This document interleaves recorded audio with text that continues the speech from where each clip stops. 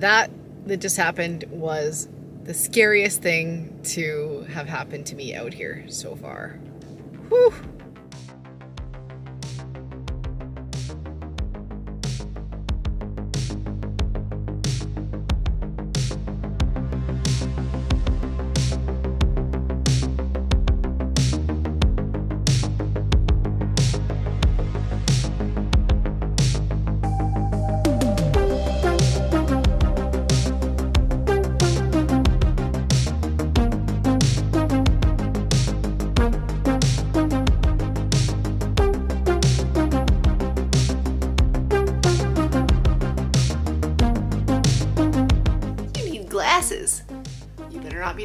With eyes like that.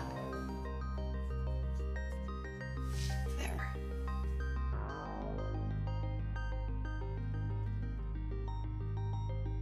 There's a lot more snow out than there was last time, but um, it's manageable, although I did bring chains just in case. Oh my gosh. You can see I uh, I was going along like totally fine and I just got sucked in off to the side on the trestle and I like hit the railing and I almost couldn't get out. Holy smokes. It was just like all of a sudden, boom, sucked over. I checked my truck and it seems okay. like my mirror got pushed in, but I don't see anything bad on the truck. I think that was maybe from me. Dicey. Dean's Rocio. I mean, I've got good winter tires with studs on them. I don't see any other scrapes or anything. Lucky. That that just happened was the scariest thing to have happened to me out here so far. If that railing wasn't there, I probably would have gone off and died. Another kind of sad realization I just see this morning as I was getting this coat on. This is the new used purple coat I got for work. It's great, except the zipper is no good. So you zip it up and then it starts to open. And I had tested the zippers out in the store and they were fine then. It seems like it's like one of those intermittent things. Secondhand shopping is a bit of a gamble sometimes, or it's a bit of a gamble all the time, really. Um, I usually look things over pretty good, and I knew that there was like a few flaws with this coat, but the zipper seemed okay, and I never really did it over and over again to ensure it was good. So, with that said, we are back to team green. You need coats with these zippers, these big plastic ones. These are the best zippers. That other one, now that I really look at it, those fine teeth are no good. Anyway, we're back to green, green and bluish purple. Ah, feels good in a way. You know, like this zipper. I mean, I've had this coat for like 13 years and these zippers are amazing. There are stairs under there.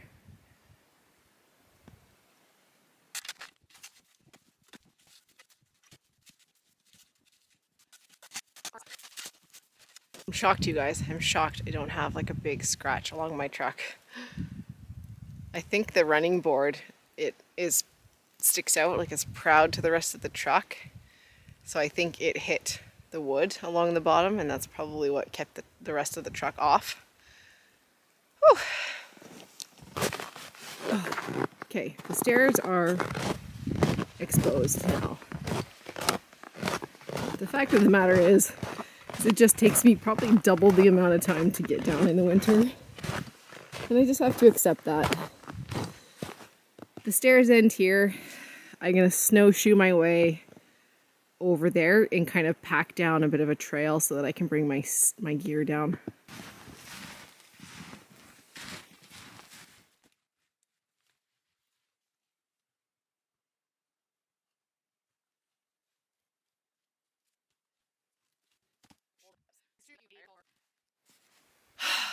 Beautiful out.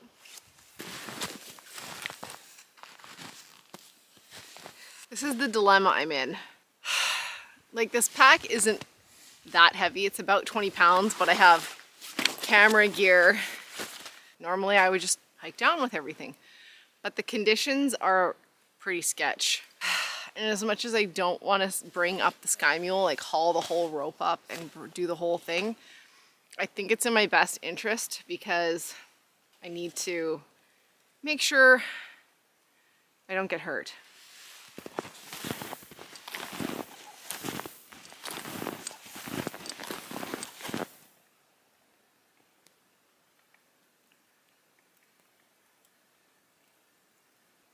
Okay, down to where my pack landed. And I see some tracks going all the way kind of where, you know, there's like an animal trail over there. Looks like probably deer, but that's over there is where the cougar scat was found last year. And also, something came from over there, which is sort of the same area.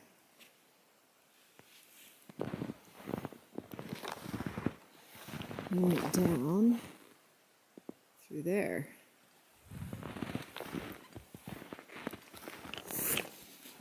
Huh. Do have a trail cam buried in the snow.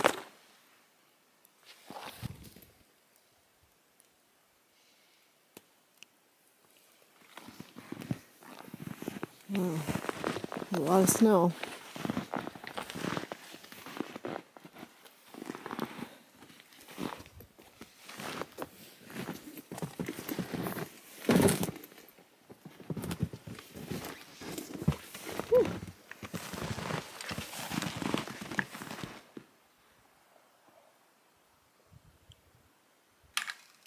It's minus six in here.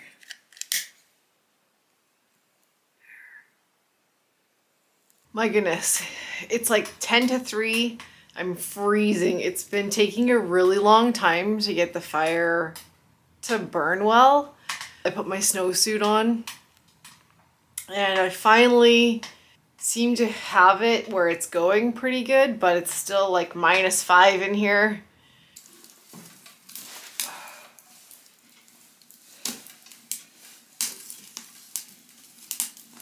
Sort of feel like there's a couple of like things I'm gonna have to do. I'm gonna have to go out and get a little bit more wood, I think.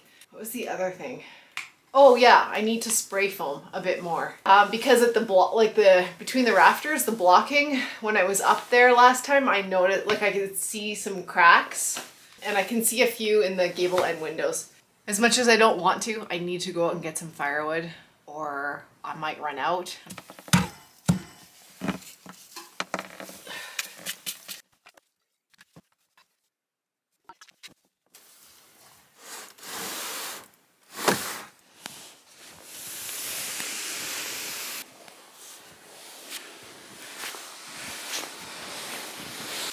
Kind of uh,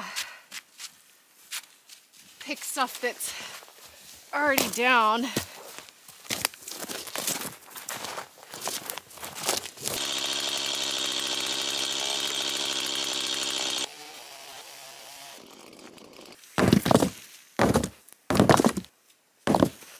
Okay, I think I got a decent haul. I'm like uh, just enjoying it out here. It's really beautiful and warm now because I've been moving and um, I'll take this long stuff that's down and just cut it where it's a little bit more flat. It's just really steep right here.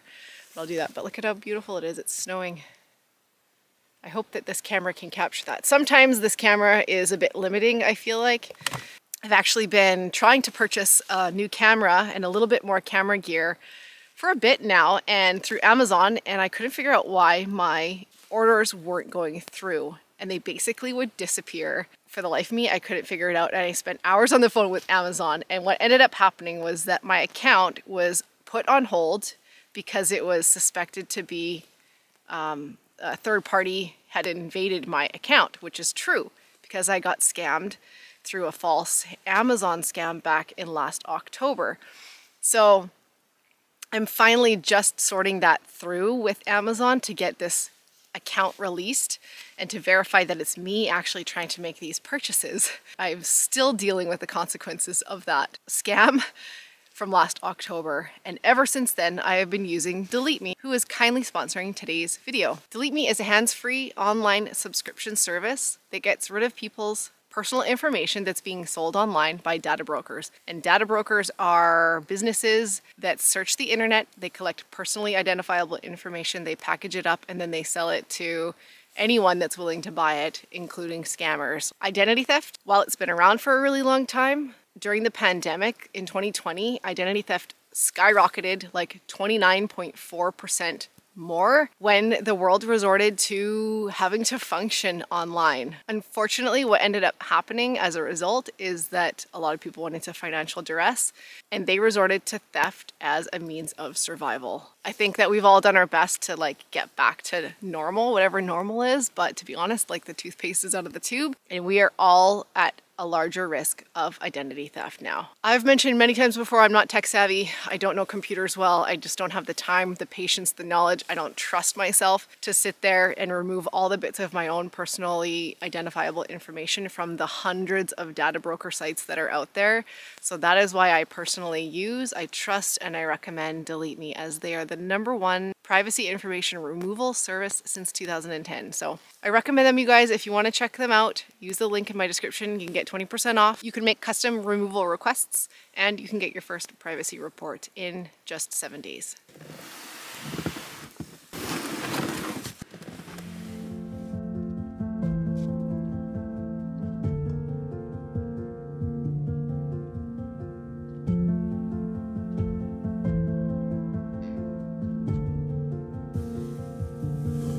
Homemade chili. Leftovers again. And some really delicious homemade sourdough bread. A little squirrel got into apparently.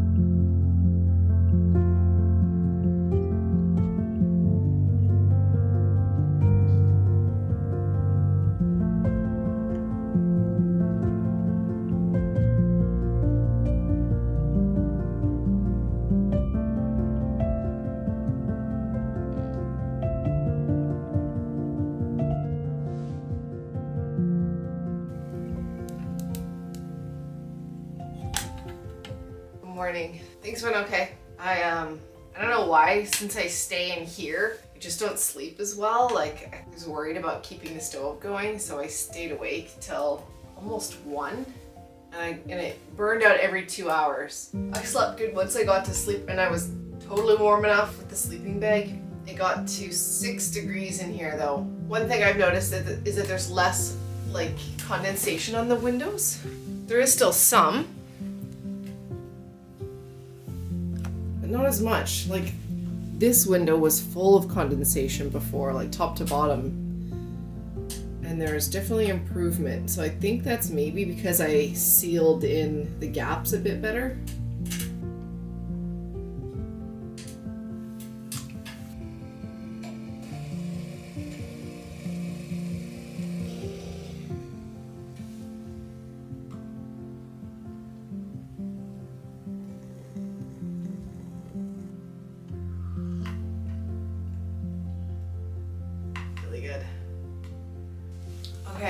Of the most common comments that I've seen in the last couple videos when I've talked about the loft is that I should put the loft at the back of the cabin over top of the lockers because it will be the warmest there and then it will keep the cabin brighter and leave those gable end windows allowing more light in.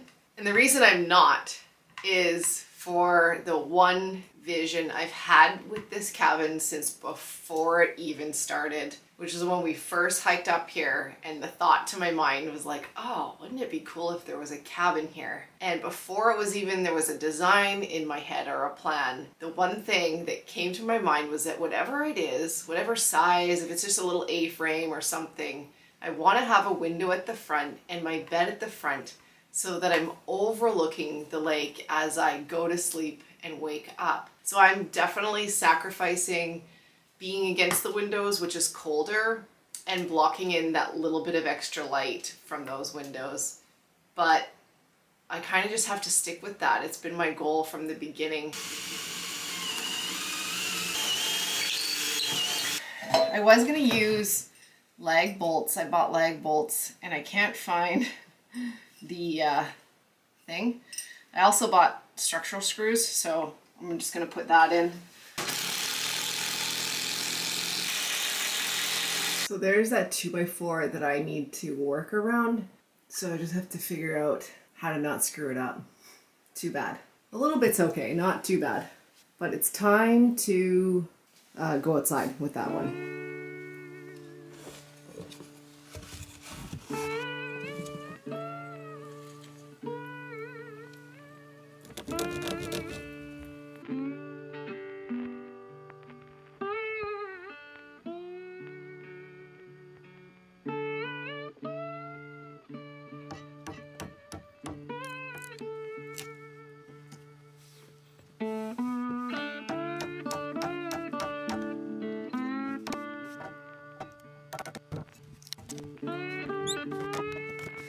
Wishing I would have just flipped it to cut it because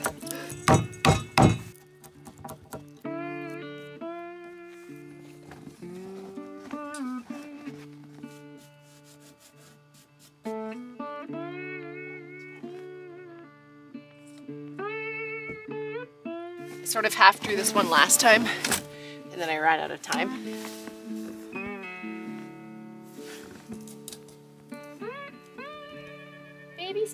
A baby brain.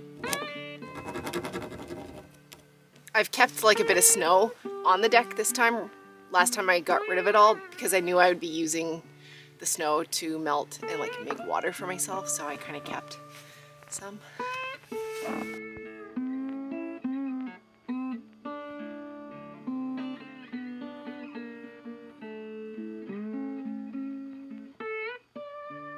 Now my 2x4 is here.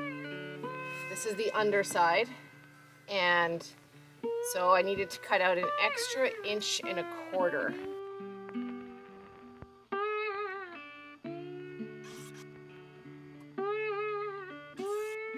Okay, here's to hoping. Oh, hello. You're foggy.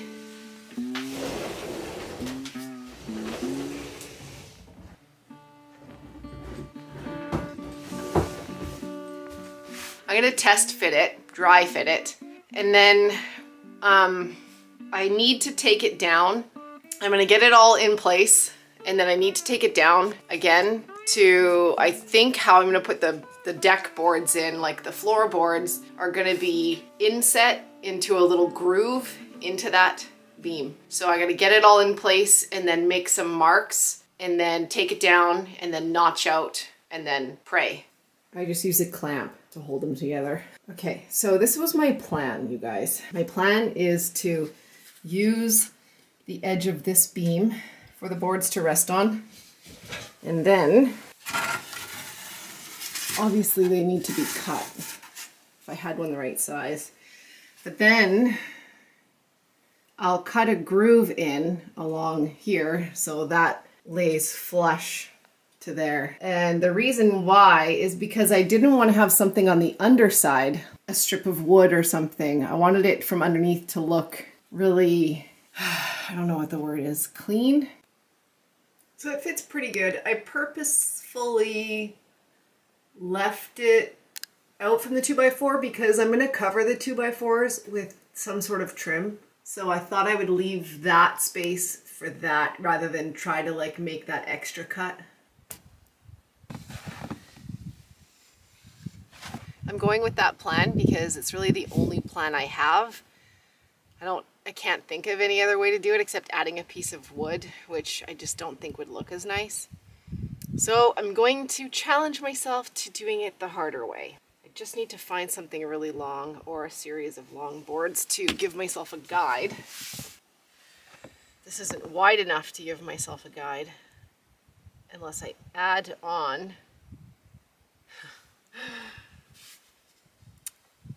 hold this thought.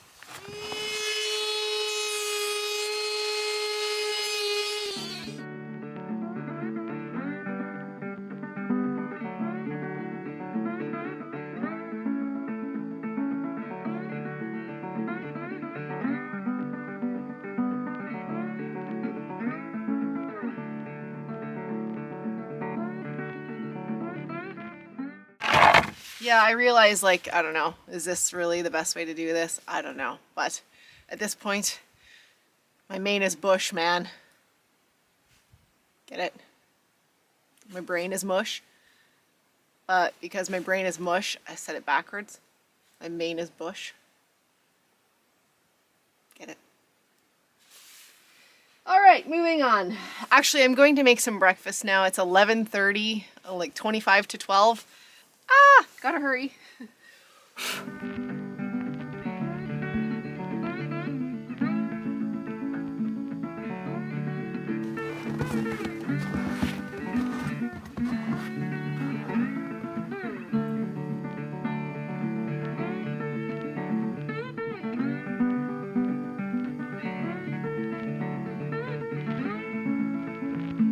It's one o'clock.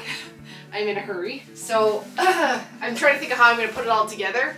And I pushed the beam out a little bit, so I'm going to lay all the boards in, and then I'm going to pound the beam in so that everything is fairly well sandwiched, and then I'll put some, either some nails or some screws.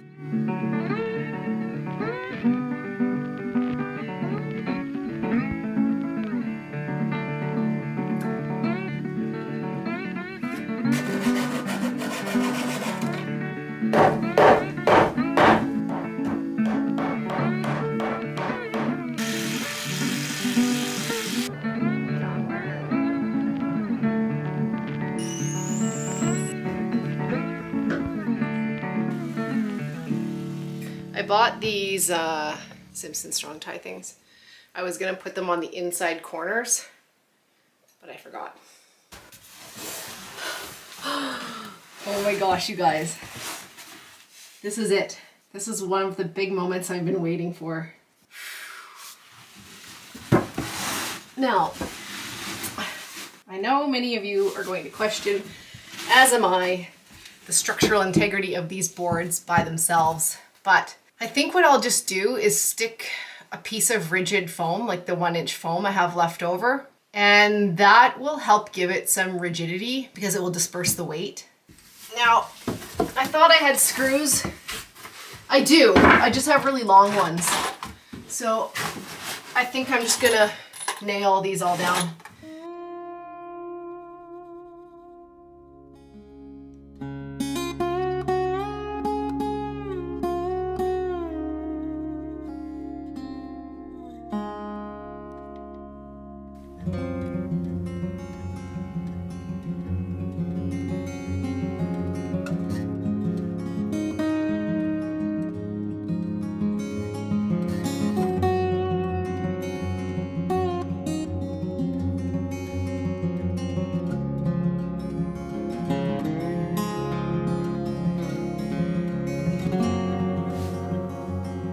Supposed to have the loft done last night so that I could wake up in the morning and get a nice good coffee shot. But uh, with the power of editing, you can make it seem like that's the way it was.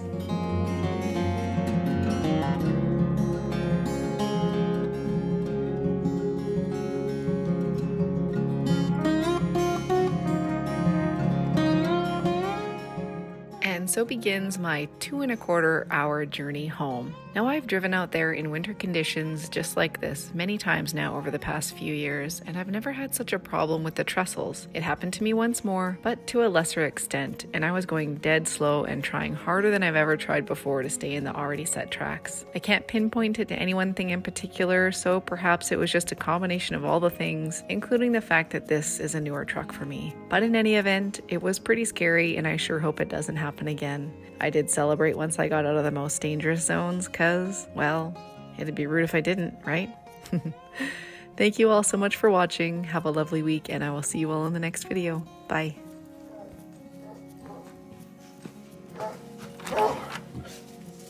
Hi, everybody. Hi, everybody. Hi, Lenny. Oh, the puppies. Oh, the puppies. Mommy's home. Mommy's home. I was at the cabin. I was at the cabin. Remember you were there. You were there before. Hi, Hi, Baboona. Hi, everybody.